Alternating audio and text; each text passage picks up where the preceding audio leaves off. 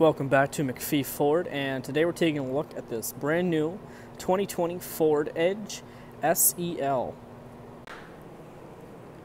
This Edge SEL is ready for its new owner. Take a look at some key features here. You've got intelligent access door handles, remote entry keypad, blind spot on the mirrors. You've got your power window controls on the inside here. Leather interior with leather armrest, fully leather trimmed seats, back and front. Power seats up front, uh, lumbar as well, heated. Coming over to the left, you've got your fog lights, exterior lighting controls, interior and traction control, and trunk release.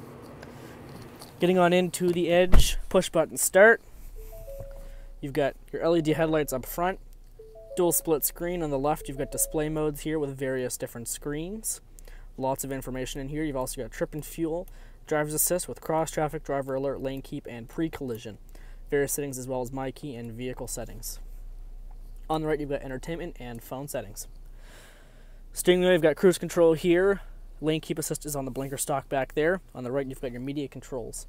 A sync sound system with electronic climate control. This is where you can control your heated seats and heated steering wheel. Dual zone as well. Down here, you've got manual radio controls and manual climates. Heated seats, dual zone climate. You've also got a wireless charger down here, a USB-C and USB-A output. Center console cup holders with your sport mode. Electric parking brake, auto start stop, and then up top is an auto dimming rearview mirror and controls for your twin panel moonroof that is located on the very top of the roof. Lets lots of light in here. Coming to the back of the edge now, you can take a good look here. You've got rear park sensors along the back bumper. Rear view camera right above the license plate cover. To open the trunk, you just press the button, it pops itself up for you. And you've got a load of trunk space back here on the bottom is a under storage area with spare tire and extra cubbies. On the right, you've got a cubby on this side, and then you've also got controls here with a 12 volt outlet and left and right seat controls. So if you press the right, your seat will pop down just like that. To close the trunk, you've got a button up here. Press that, and it comes back down for you. Getting on into the back seat now, you've got cubbies on the doors. Leather seating in the rear as well, rubber floor mats. Very spacious back here. You've got a cubby in here. You can put any belongings you have.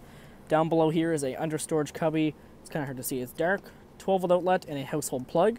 So you can charge up all your devices from the rear seat. As well as back here is a armrest that folds down, leather, two cup holders in it. And then you've got a nice view of your panoramic moonroof.